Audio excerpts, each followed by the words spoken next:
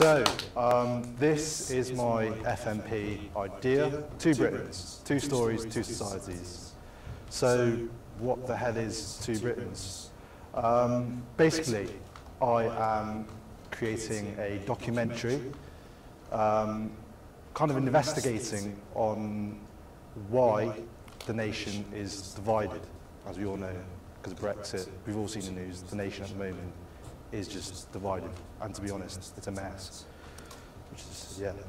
Um, the story of two nationals. So I'm going to be um, following the stories of two British citizens that lived here in the UK, one from down here and one from the Midlands. So I'll be filming in both places. I'll be filming in the Midlands and I'll be filming down here in Torbay. Um, the first subject is the story of Mohammed Kiranawi. He's a male Muslim British Jordanian national in his late 30s. Um, he's trying to make a living in the UK through doing sewing fashion business in Torquay.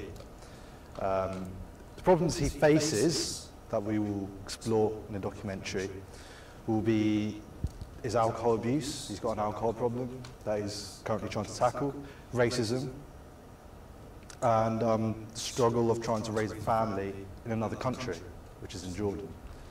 Um, the second subject is the story of Sandeep Mathari, a Sikh 17-year-old British Indian national living in Coventry, East Midlands.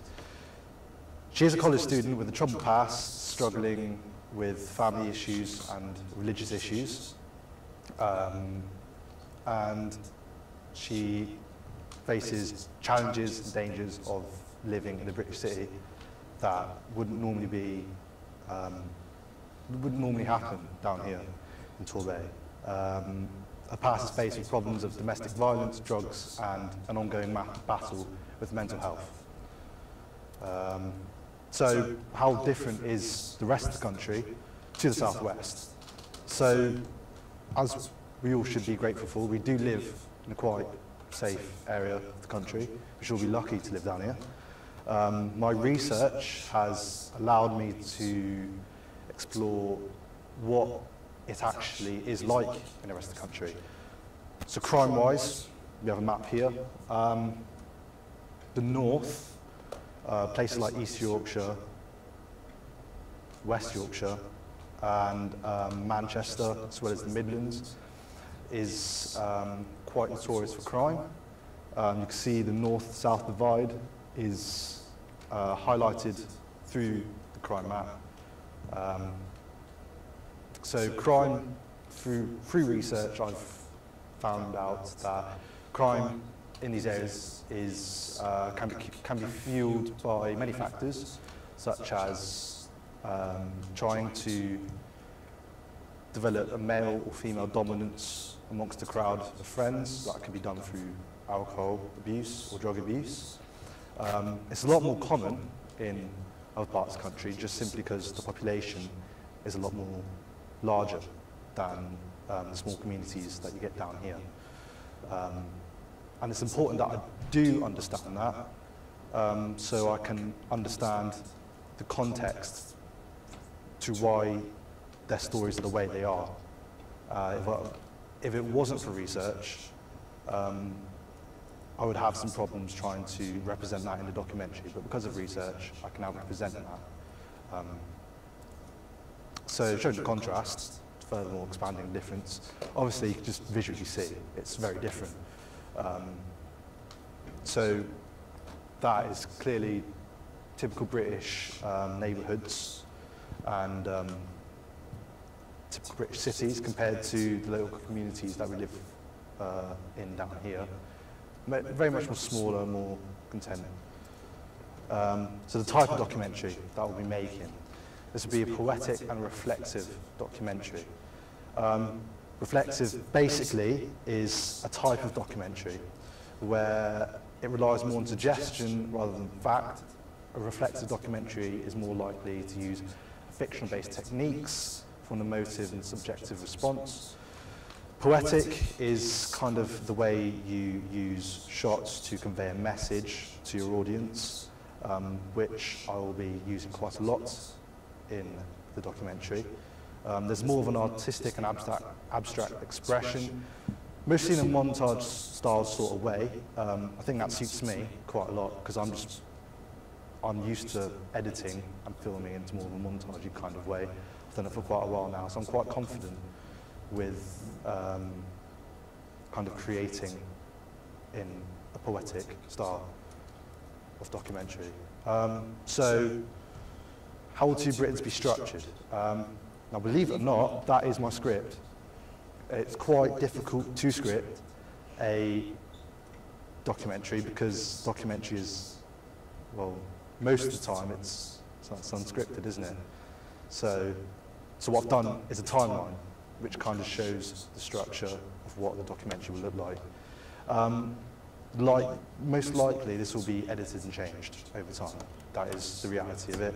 So for the moment, um, as you can see, the way you read this, it is color-coded through the colored bars. So obviously the red is segments of cinematics, orange is segments of role play, um, then the two blues is just to represent um, the two interviews that are going on.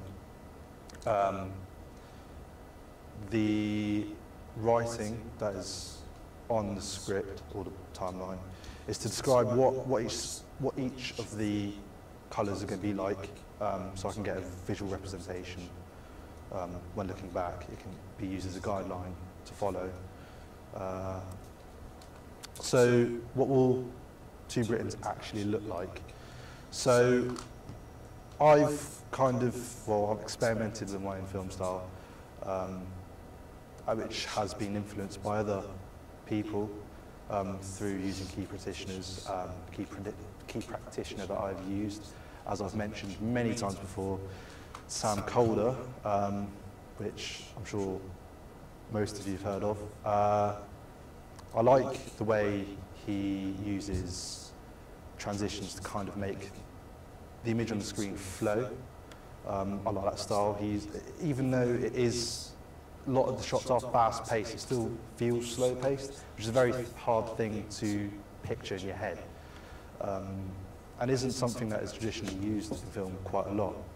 So by using this um, style, I hope to kind of differentiate my documentary from other documentaries.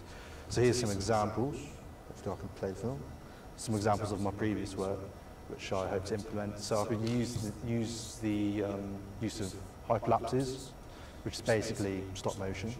So there's some examples that was taken in Budapest and the previous one was taken in Torquay.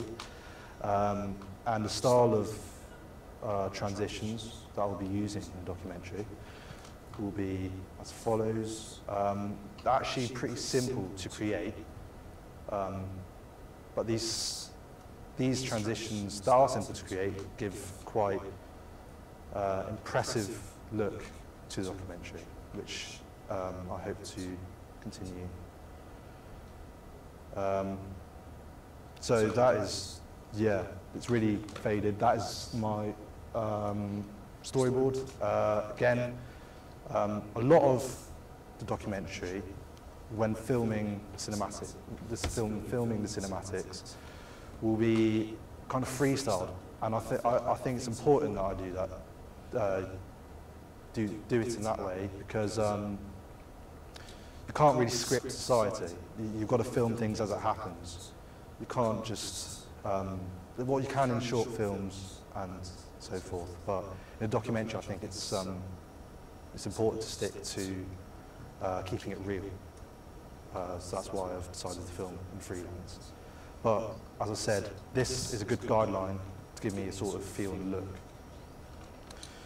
um, to what the documentary is going to look like. Um, so here are just some images to kind of show um, the kind of shots, the kind of look that I will be going for. Some of these um, images have been taken from the documentary Black Sheep. Um, I use this as a key practitioner and uh, overall, I was very influenced through the use of colours that was used within documentary. You could tell it's a very blue, um, kind of dark feel to the picture. And that kind of gives like a gritty reality, which is important if I'm giving a gritty reality to what the UK is actually like. Um, production schedule. So again, likely that's going to change. Um, so I've given a lot of time into editing. In fact, I've given myself almost a month because I, I know myself, I'll probably take ages to edit. Um, so I'm going to give a lot of my time in editing. Um, target audience wise, um, I think through the research that I have conducted, um, a lot of the target audience will be 17, 18, and 19 year olds, so the higher, uh, older teenagers. But as well as that, um, people in the late 40s and early 50s will be watching this, more in um, urban areas, in, in bigger cities. Um, also people that have internet, uh, internet access are more likely to watch my documentary, as um, documentaries are um, they are growing on the internet quite a lot recently through the use of social media, which I have also found out through my research. Um, so, two Britons, two stories of two people living in two different areas of the UK. Topic question, is the UK more divided than we think? That is it.